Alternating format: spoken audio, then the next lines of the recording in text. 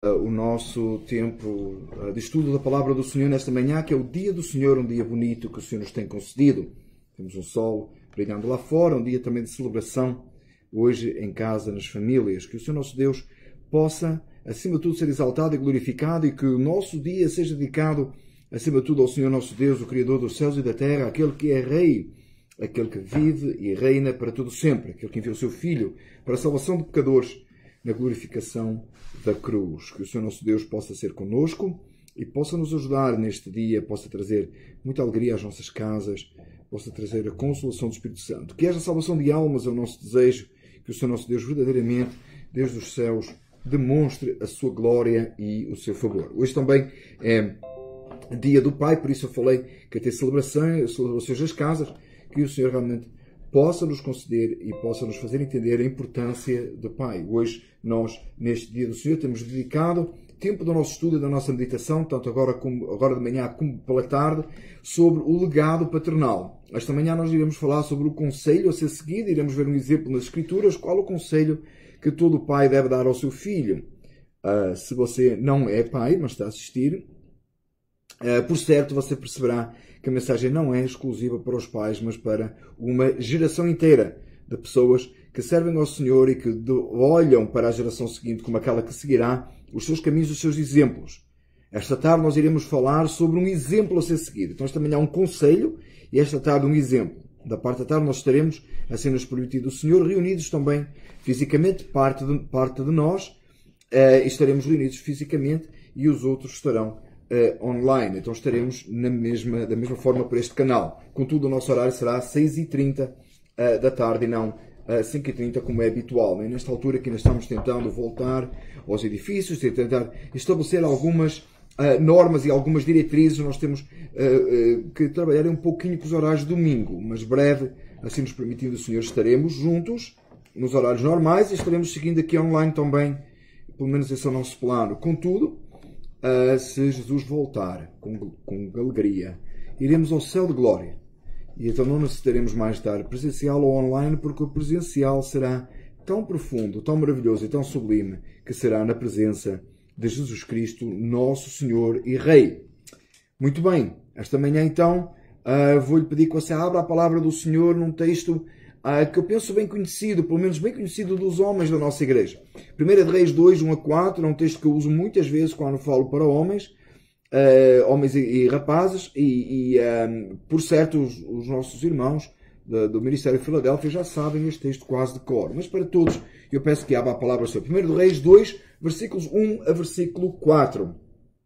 E nós vamos orar juntos, assim, agradecer ao Senhor por este dia uh, maravilhoso. Pai eterno, nós louvamos o teu nome, Senhor, e bendizemos, a ti damos glória, só tu és digno, só tu és rei, só tu és Senhor. Pai, neste dia que nós celebramos o teu dia, que celebramos a ti, Senhor.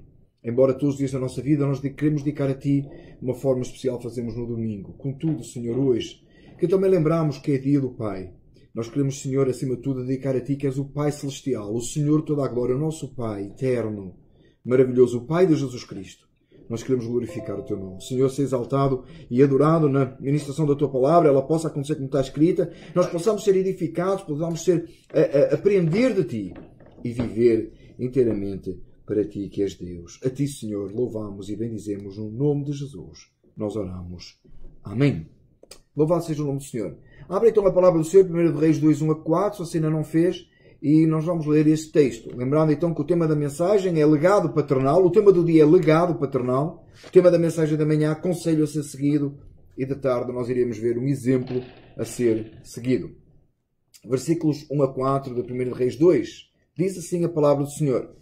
E aproximou-se os dias da morte de Davi, e deu ele a Salomão seu filho, dizendo, e deu, e deu ele ordem a Salomão seu filho, dizendo, eu vou pelo caminho de toda a terra, e esforça depois de ser homem, e guarda a ordenança do Senhor teu Deus para andar nos seus caminhos, e para guardar os seus estatutos, os seus mandamentos, os seus juízos e os seus testemunhos, como está escrito na lei de Moisés, para que prosperes em tudo quanto fizeres e para onde quer que fores para que o Senhor confirme a palavra que falou de mim, dizendo: Se os teus filhos guardarem o seu caminho, para andarem perante a minha face, fielmente, com todo o seu coração e com toda a sua alma, nunca disse te faltará sucessor ao trono de Israel. Nós encontramos este texto, a palavra do Senhor, Davi já muito velho, já perto da morte. Um, e ele reinou sobre Israel há muitos anos, viveu muitas experiências, e neste texto, especificamente neste texto, nós encontramos perto da hora da sua partida, com noção de que iria partir. Por isso ele diz assim: Eu vou pelo caminho de toda a terra, dizendo, referindo-se que ele estava partindo, iria, uh, uh, estava, a sua morte estava chegando. E nesse contexto, nesse momento, ele chama Salomão, e já tinha havido um problema com outro filho que estava tentando tomar o trono, etc. A história é complexa, eu aconselho você a ler uh, para ficar com um contexto melhor de todo o assunto. Recorde-se que nós estamos no segundo capítulo já do Primeiro Reis, portanto você tem que ler o primeiro capítulo para perceber bem o contexto histórico, o pano de fundo que está aqui. Uh, mas você verá, vê que então Davi ainda, uh, com pouco, pouca força que lhe restava, já muito velho após ter vivido muitas experiências, muitos anos já tinham passado, desde que o Senhor tinha usado para fazer Golias cair diante do, do Senhor dos Exércitos, do rei de Israel. Davi tinha sido usado isso muito jovem, ah, e ele já tinha passado tantas coisas, ele glorificou a Deus em muitos momentos, ele também pecou contra o Senhor, ofendeu a Deus, o castigo de Deus veio sobre a sua casa, muitas coisas tinham acontecido na vida de Davi, eh, mas em todas elas, em todas estas coisas, há uma coisa que sobressai. E, e, e deixe-me fazer um parênteses para dizer, eh, muitas, muitas, muitas vezes têm sido exaltados os erros e os pecados de Davi para justificar os erros e os pecados de muita gente e tornando uma, a graça de Deus uma graça barata.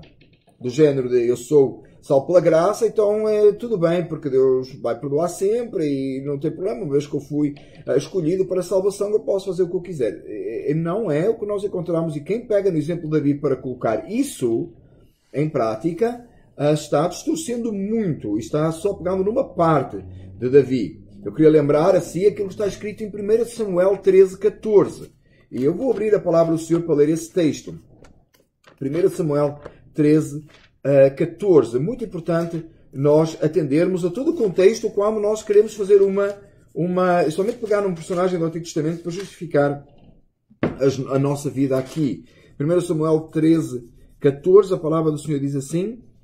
Porém, agora não subsistirá o teu reino, uh, uh, falando, referindo-se para Saul, já tem buscado o Senhor para si um homem, que é Davi, segundo o seu coração, e já tem ordenado o Senhor que seja chefe sobre o seu povo, porquanto não guardaste o que o Senhor te ordenou. Deus estava rejeitando Saul e avisando Saul que Deus já tinha levantado um homem segundo o seu coração. Davi, o homem segundo o coração de Deus, sim pecou, sim ele ofendeu a Deus, sim ele fez aquilo que era errado, lidou com o castigo e a ira de Deus, inclusive sobre a sua própria casa, mas a sua vida foi uma vida de dedicação ao Senhor nosso Deus e ele tinha o desejo de fazer a vontade do Senhor. Ele louvava e adorava, e vimos isso até nos Salmos. O seu coração era quebrantado pela presença do Senhor. Ele não se curvava diante dos inimigos do povo de Deus, desde Golias, ele nunca se curvava diante dos inimigos do povo de Deus. Eles mereciam em alguns momentos, mas ele não se curvava, mas ele sempre se curvava diante do Senhor Deus Todo-Poderoso e até da voz profética, quando o profeta veio repreender e falar daquilo que ele tinha feito e do seu pecado, inclusive com Batseba, em relação a Urias. Né? Então Davi viveu uma vida extraordinária eh, na presença do Senhor, com erros e falhas, mas não nos serve de desculpa para justificarmos e fazermos da graça uma graça barata. Né? Eu pequei, mas é, Davi também pecou, ah, Deus escolheu. Não, não, não. Ele foi um homem segundo o coração de Deus. Em todas as coisas, ele buscava servir a Deus e obedecer a Deus. Perto da hora da sua morte, ele agora tem a missão de passar alguma coisa para o seu filho. Ele tem que dizer ao seu filho alguma coisa que vá confirmar aquilo que Salomão iria fazer como rei. E também somos, muitas vezes, muita gente vai e, quer, e aponta o dedo em Davi por causa da forma que ele não cuidou da sua casa, o que está na Escritura por certo, mas quando na hora da sua morte ele está preocupado com o povo de Deus e ele está preocupado e chama o seu filho, aquele a quem ele ia incumbir da missão, a quem foi imposta a missão uh, de reinar sobre o povo de Israel. Eu estou aqui procurando o texto para que nós possamos analisar juntos, tá? Então, so, so, so, uh, Davi chama Salomão e diz para Salomão Olha, eu vou pelo caminho de toda a terra, eu estou partindo, e agora tenho uma missão para tu cumprires. E a primeira coisa que ele diz a Davi é, por a primeira coisa que Davi diz, por certo que Davi tinha muita coisa para ensinar a Salomão. Né? Salomão ia tomar conta do povo e disse assim, olha, e tem isto, e tem aquilo, e tem outro. E se você ler o contexto do capítulo 2, uh, de segunda de, de 1 Reis, você vai ver que após o texto que estamos a analisar aqui, uh, Davi vai falar especificamente em alguns casos, e até algumas pessoas ele vai mencionar com relação àquilo que Salomão tinha que ter cuidado e deveria fazer. Contudo, antes dessa parte, antes de estar nesses detalhes, antes de estar nesses, nessas coisas, olha, Salomão, tu tens que fazer isto, tens que fazer aquilo, o senhor incumbiu daquilo, o senhor incumbiu do outro, olha, cuidado com fulano, cicrano, não deixa até, né, até uma parte que ele manda tomar uma ação até muito grave com relação a alguém uh, que não tinha feito aquilo que era certo e, e Salomão deveria resolver esse problema.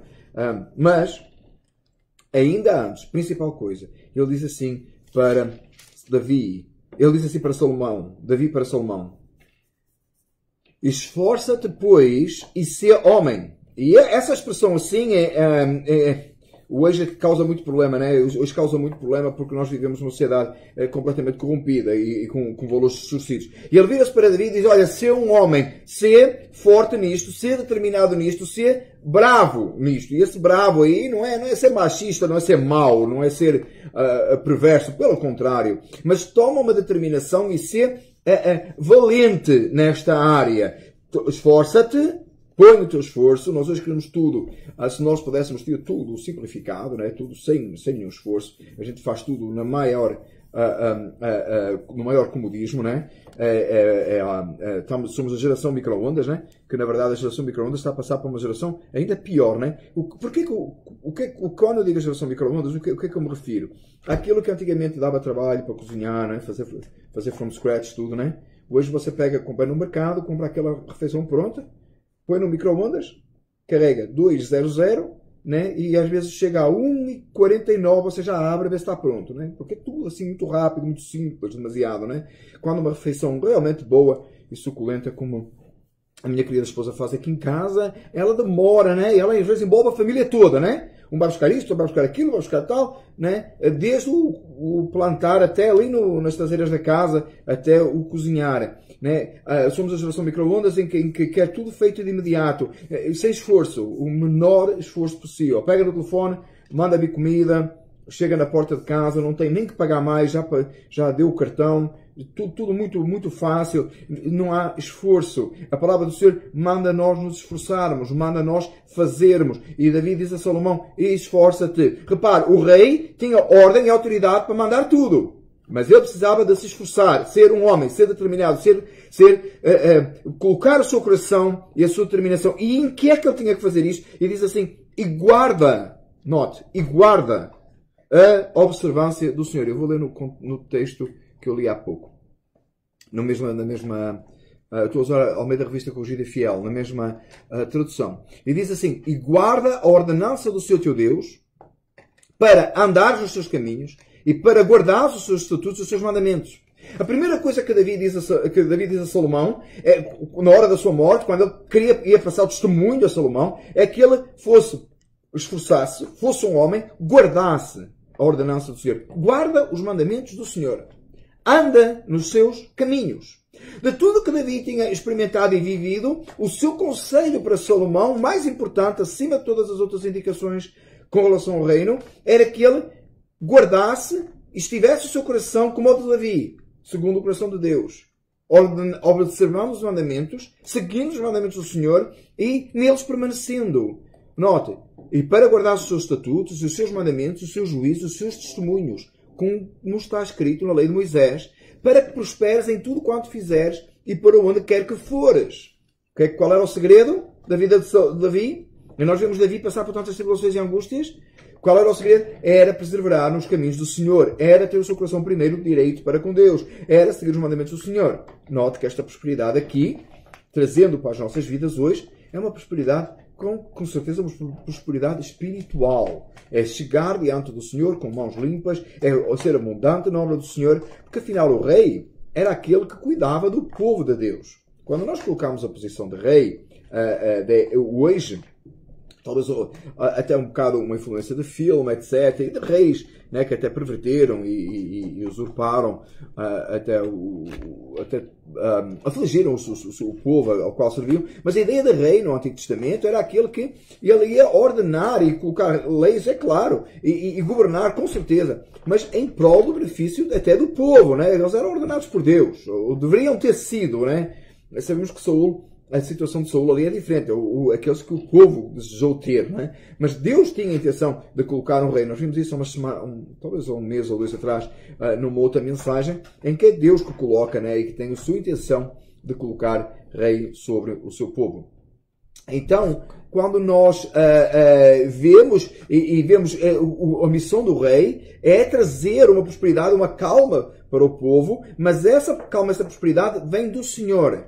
Uma paz, com Deus, uma tranquilidade que vem de Deus, uma abundância. Por certo que Deus também pode dar bênçãos abundantes, eh, materiais, uh, etc. Não, não, não, não, não, não, estamos pregando contra, mas estamos sobressaindo do texto aquilo que realmente o texto diz, que a guarda dos mandamentos traz prosperidade espiritual, traz fruto para a obra do Senhor. Seguindo este mesmo contexto, no versículo 4, o último que analisaremos esta manhã, diz assim: Para que o Senhor confirme a palavra que falou de mim, dizendo: Se os teus filhos guardarem o seu caminho, para andarem perante a minha face, fielmente com todo o seu coração e com toda a sua alma, nunca disse te faltará sucessor ao trono de Israel. Nós sabemos que esta profecia foi cumprida em Cristo Jesus e assim será para todo sempre. Ele é o rei dos reis, o senhor dos senhores, o rei da igreja, o rei uh, do Israel divino, né? do Israel divino. Uh, e ele é, ele é o senhor de toda a terra.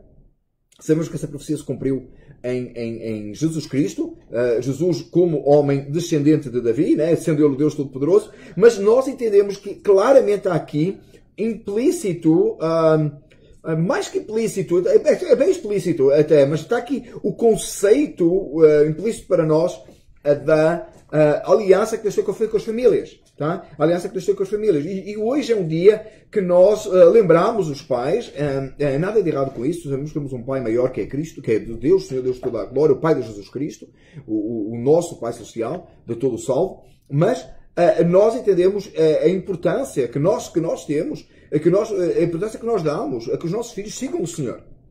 Davi levou isso ao pé da letra.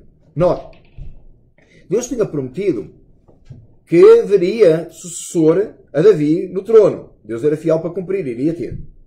Contudo, a preocupação de Davi é que Salomão seguisse o Senhor. Salomão precisava seguir o Senhor, precisava de continuar. Eu já ouvi gente ler aquele versículo que diz: Serás salvo tu e a tua casa e ficar aí descansado na sombra da bananeira. Porque está tudo bem, Deus vai salvar. Deus vai salvar de um jeito qualquer. Porque tem aliança com a família, os meus filhos serão salvos. Ah, cuidado com isso. Cuidado com isso. Não é o ensino das Escrituras. Há sim uma aliança com as famílias, nós vemos aqui, e eu acredito nessa aliança com as famílias. Obviamente, Deus, tem, Deus não tem responsabilidade conosco.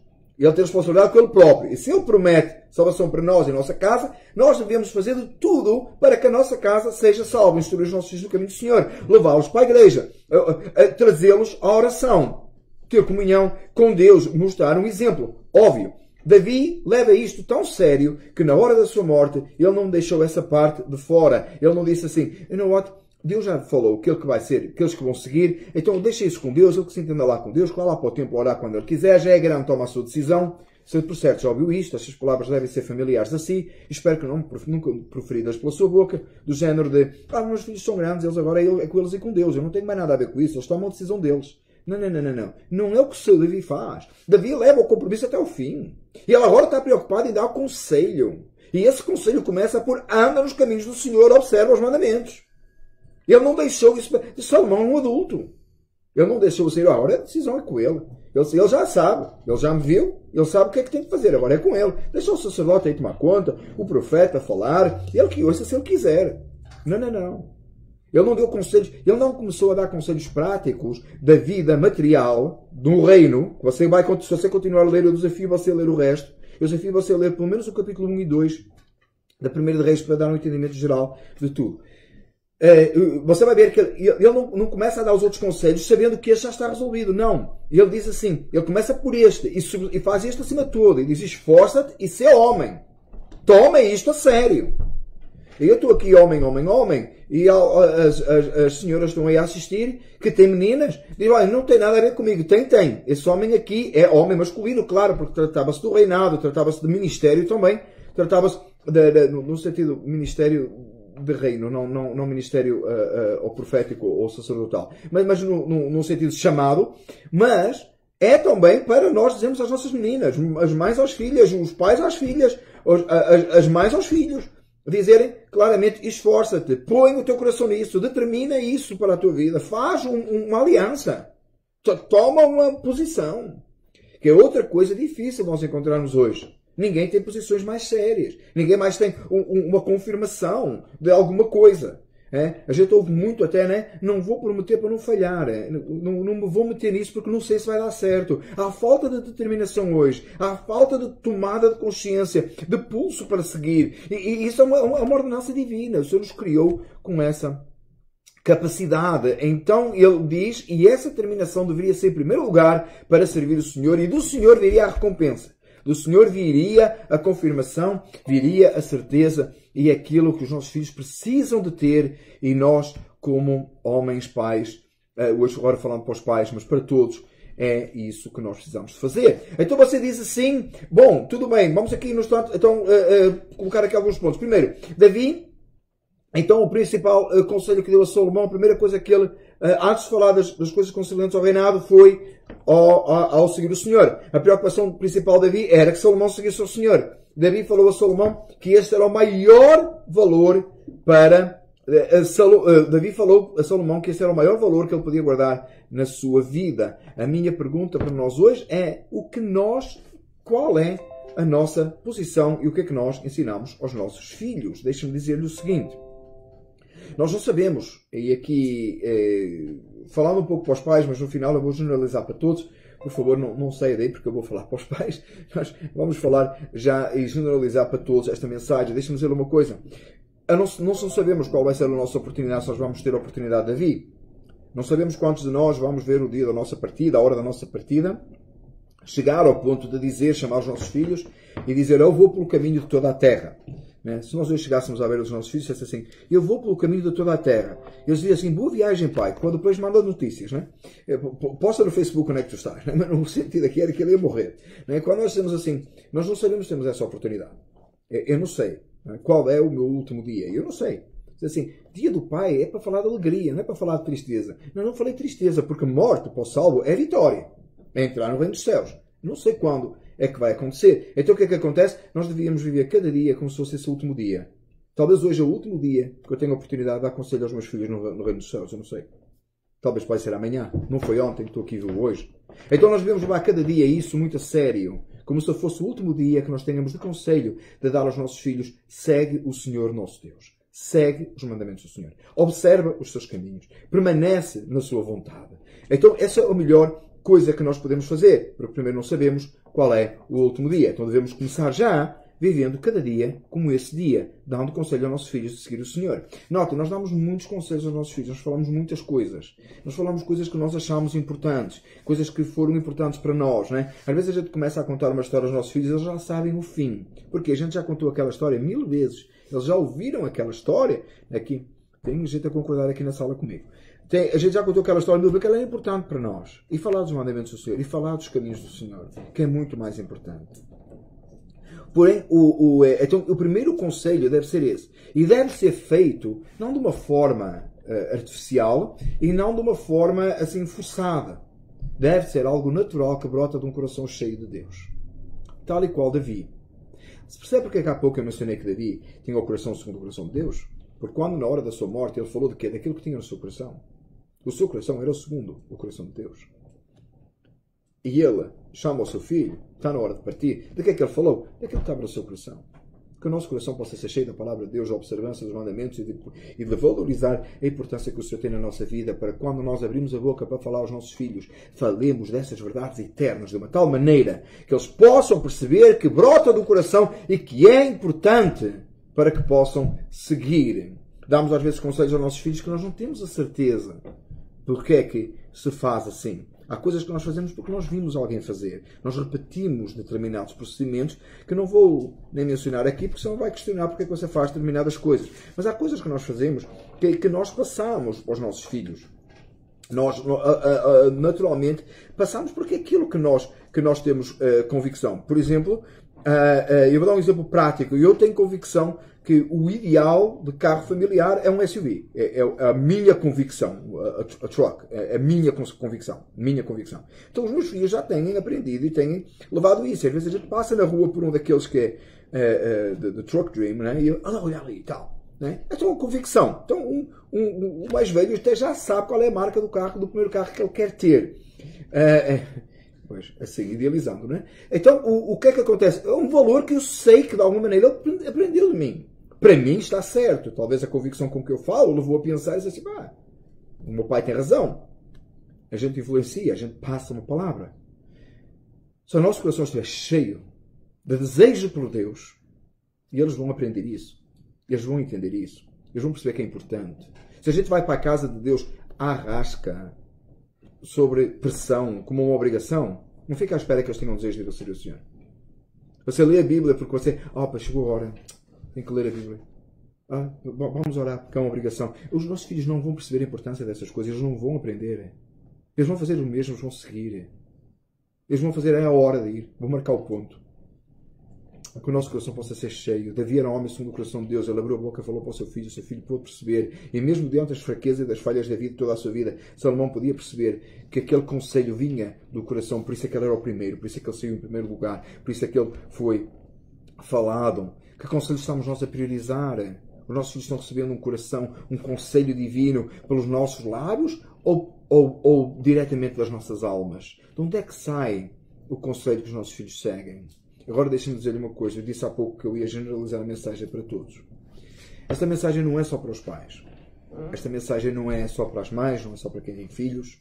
Talvez você, ao ouvir esta mensagem, você diria assim: Eu gostaria tanto de ter filhos para poder fazer isso. Ou talvez você, ao ouvir a mensagem, e porque você é muito jovem ainda, está a pensar: Um dia que eu tiver filhos, eu vou fazer isso. Ou talvez você está a fazer pior.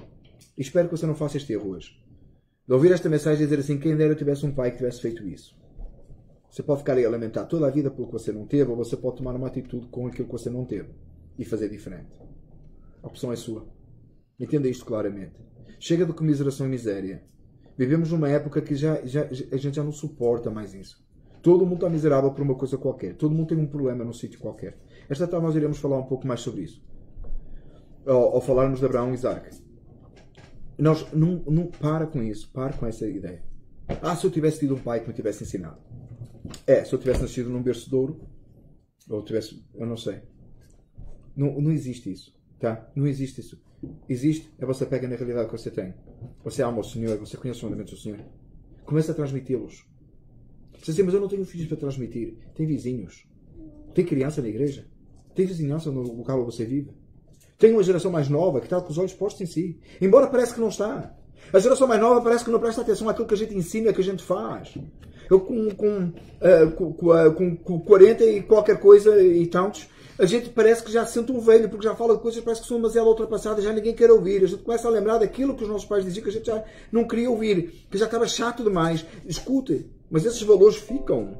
Esses valores são ensinados, esses valores são transmitidos. Nós precisamos disso.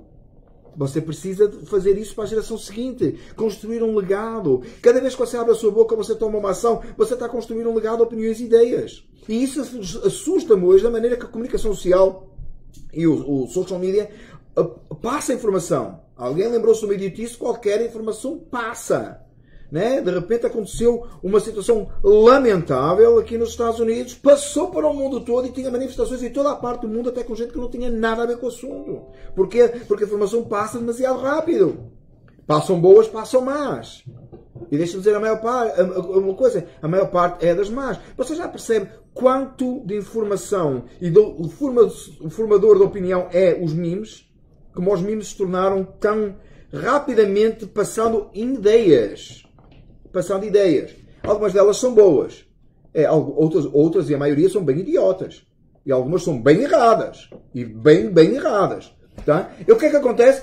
A informação passa. Aquilo que nós falamos, aquilo que nós geramos, está a trabalhar na geração seguinte. E não é só os pais para os filhos. É você com os seus vizinhos, é você com netos. É você com os filhos dos seus amigos. É você com a geração mais nova. Nós passamos um legado de ideias e de pensamentos que geram conflitos e problemas mais tarde. Nós somos fruto hoje de pensamentos errados. A sociedade hoje sofre. Sofre. Pena por pensamentos errados criados e gerados numa geração anterior à nossa que trouxe para nós esse problema.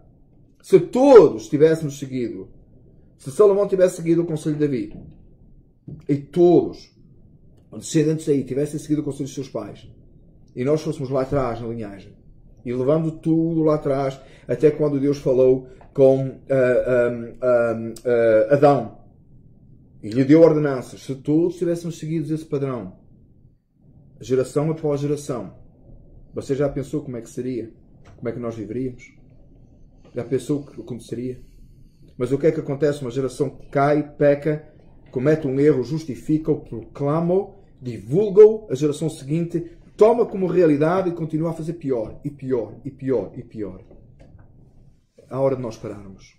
É hora de nós voltarmos para Deus. É hora de nós voltarmos aos ensinamentos da Bíblia Sagrada e perseverarmos neles e mantermos-nos neles e passarmos esses pensamentos à geração seguinte. A geração seguinte está de olho em nós, está a ver do que nós estamos fazendo, está aprendendo de nós. Eles irão aprender a servir a Deus se nós servirmos a Deus. Preocupa-me com as crianças da nossa igreja. O que é que elas estão aprendendo? Os pais estão vindo para a escola dominical trazendo os filhos. Os pais estão vindo ensinando o caminho do Senhor. Que conversas nós temos em casa? Como é que nós vemos o reino dos céus? É um peso? Como é que é o domingo? É um dia de alegria por servirmos ao Senhor? Ou é um dia de que estava tão bem na praia, mas tem que ir para a igreja? Eu escuto, se esse é o seu pensamento, você, eu vou dar um conselho, babá para a praia. Até que Deus o converta. Porque, de outra forma, os seus filhos estão a aprender que servir a Deus é um peso. Mas se você tem alegria e gozo de servir o Senhor, os seus filhos vão perceber isso. É hora de ir para a igreja vão alegres. Porque você está alegre. Você é um influenciador. A sua vizinhança vai perceber que você é um cristão porque você, com alegria, sai de casa para ir para a igreja. Não de cabeça baixa, como, como um peso. Acho que aquela hora, né?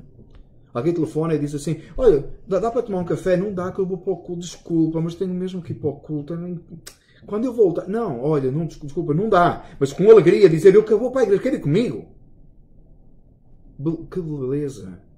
A nossa, a nossa forma de vivermos, o nosso conselho ele influencia a geração seguinte, a nossa opinião, o que nós publicamos no Facebook, o que nós pensamos, o que nós falamos. Que o Senhor nosso Deus venha encher o nosso coração de tal maneira que sejamos como Davi, um coração, tenhamos um coração igual ao coração de Deus, em que nós falamos as coisas de Deus e ministramos as coisas de Deus e aqueles que estão à nossa volta se juntam a nós e aprendem de Deus através das nossas vidas. Pais para filhos, para netos, vizinhos, crianças, os nossos sobrinhos, quem tem sobrinhos, uma geração está vindo e precisa de ver Cristo em nós. Precisa de ver o Senhor Deus sendo exaltado e glorificado. Precisa de ver a revelação do Espírito Santo nas nossas vidas de tal maneira que as nossas palavras revelam isso, o nosso conselho revela isso, o nosso dia revela isso e eles vão seguir esse exemplo. Que triste que será se a geração que vem após nós, após, após, após, após nós, a, a, a seguir a nossa, que